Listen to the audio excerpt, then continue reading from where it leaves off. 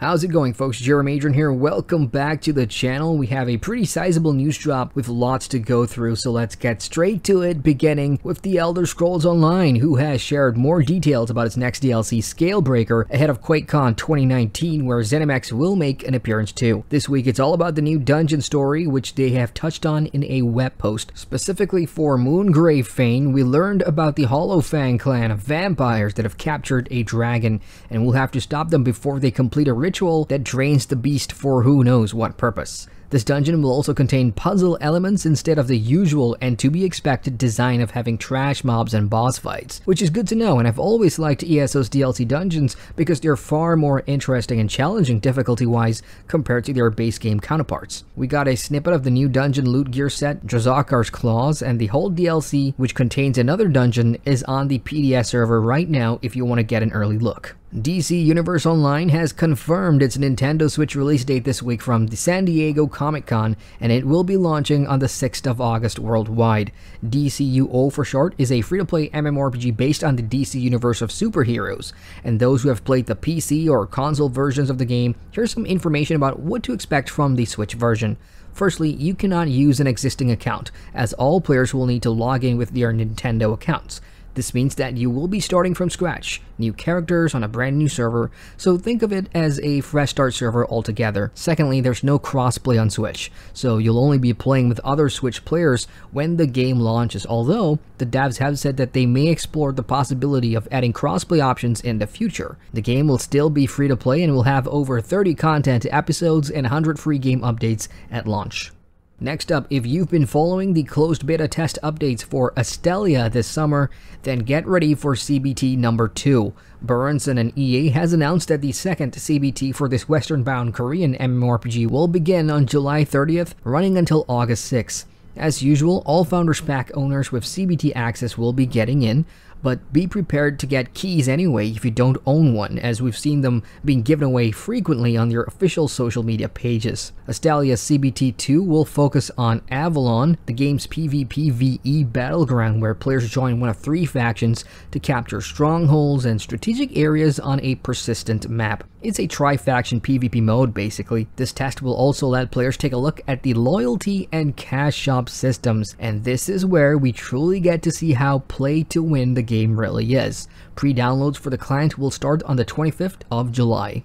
We also have news from Ashes of Creation this week, thanks to an update from the game's creative director, Steven Sharif. The post, linked below, talks about the team's growth and what's happened over the last few months, and the one thing of interest to highlight here is that the game's testing ground, the Apocalypse Battle Royale mode, will return for a limited run of testing on August 20th, but no finalized dates mentioned for the other modes like Horde and Siege. This is, of course, building up to the MMORPG's Alpha 1, and to that end, they have some insights about one of the game's core features, the Mayoral Caravan system. MCS for short interacts with the game's node system, allowing mayors to establish trade with nearby cities, extend diplomatic relationships with other nodes, and create opportunities for conflict and cooperation. Intrepid has a video about this that's worth watching if you're a backer and want to learn more about what's coming to the MMORPG.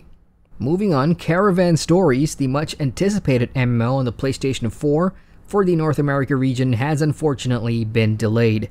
In an official tweet, the game says that more time was needed to ensure a polished gameplay experience, but no replacement date was given for the open beta, which was originally scheduled to take place this month, with launch happening shortly after. For those that don't know, Caravan Stories is a free-to-play anime-inspired MMO with over 2 million players in Japan alone. The game has open world dungeons and raids and a combat system that allows you to recruit companions, both creatures and allies, to overcome the dangers in the world of ER.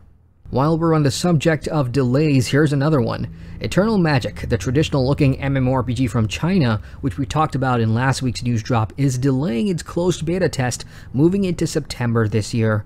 According to the devs, more time for internal testing was needed to guarantee server optimization and improve the game's localization, which are all fair reasons because much of our first impressions rely on those things in addition to the gameplay itself. And on that note, there's been some gameplay videos already out and from watching it myself, it doesn't look all that promising, as it has auto combat features reminiscent of mobile MMOs, and the graphics are nowhere near good enough for me personally. Anyway, those who have bought early access packs specifically for the CBT access, you will be given some freebies as an apology token when the open beta arrives in the form of currency. Up next, Sandbox MMORPG Albion Online is celebrating an anniversary this week, and good news for all players, you will be given free gifts. Sandbox Interactive has sent out a new anniversary banner, which is a furniture item, in addition to fireworks for players who have accounts created prior to July 17th. You will need to log in by the 24th to trigger the reward, however, so be quick about it. While that's nice, this is what you really want. The Mists of Albion buff is active and it'll be up until the 24th as well, which grants everyone an additional 25% boost to fame from all activities. That means combat, gathering, and crafting. So now's the best time to get out there and grind your hearts out. Just keep in mind the buff does not affect fame earned through Tomes of Insight, nor does it affect the rate at which CP is earned. Here's something I haven't talked about in a long time. Life is Feudal, the MMO. What about it? It's officially gone free to play.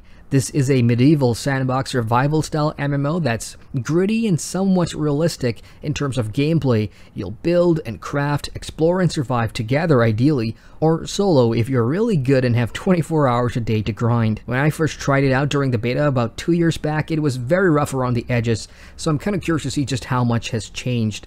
The free-to-play model switch is apparently to accommodate new players to the game, and everyone will be given 3 days of premium subscription plus a ticket to Abella. Note, this is best played together or with friends if you have them, otherwise it can be somewhat frustrating, but check it out if you haven't heard of Life is Feudal, the MMO. EVE Online players, would you like to be a part of history? If the answer is yes, then now's your chance. Hadean is partnering with CCP for the Aether Wars Phase 2, which aims to put together the largest MMO space battle in history, with over 10,000 players participating in order to set the new world record. The playtest will take place on Sunday, August 18, and the link to sign up for free will be posted in the pinned comment down below.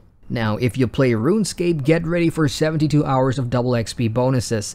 Developers Jagex have announced that the next double XP weekend will begin on July 26th until the 29th.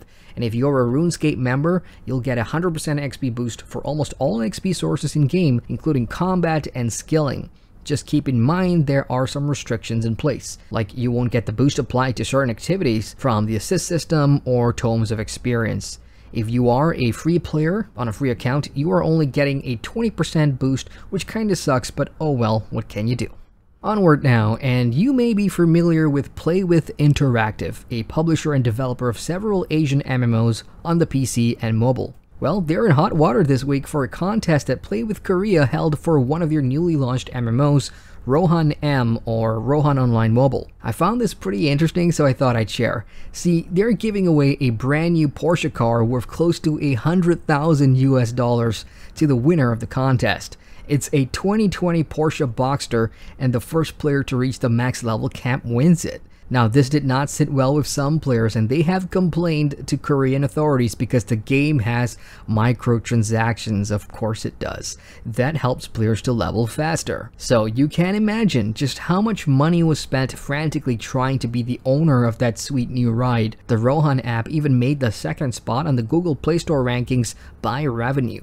So what happens next? The Korean Game Rating and Administration Committee is now investigating Playwith as of Tuesday, and the probe will yield its findings in a fortnight. Playwith, for their part, said that they had consulted lawyers regarding the legality of the contest, and we'll just have to wait and see how this plays out. Playwith, thank you for being the example that all other publishers can now point to and say, yeah, let's not do that. Elsewhere, Wizard 101, a classic MMORPG based on high school magical adventures, has some pretty good news for veterans, first timers, and players who have not returned in a long while. The game is working on its sizzling summer update, which is now on the test realm at the moment, and the update contains some massive changes to the early game. This includes a complete graphic overhaul of Wizard City, a new and improved new player experience that will affect the first few hours of gameplay way past the tutorial, and there's a new team-based event as well. All in all, these sound like some much needed additions to give the early game some new life considering its age, and I guess it will be worth a look once the update goes live. Anyway, if you want to check it out, again, it's on the test realm. PvP-centric medieval MMO Gloria Victis had a surprising update for players this past week, and they've shared some details about what's being worked on in a recent post. First up, horses and mounted combat is coming to the game, which is a much requested feature ever since the game opened its doors. This is going to drastically change the open world skirmishes a ton I reckon, and it gives players something to look forward to. There's also free building and guild castles on top of a ton of balances and tweaks which can be found in the notes I've linked below. And last but not least, we head to Azeroth and the World of Warcraft. The WoW Classic Global Stress Test, which was supposed to happen next week, is sadly delayed until further notice.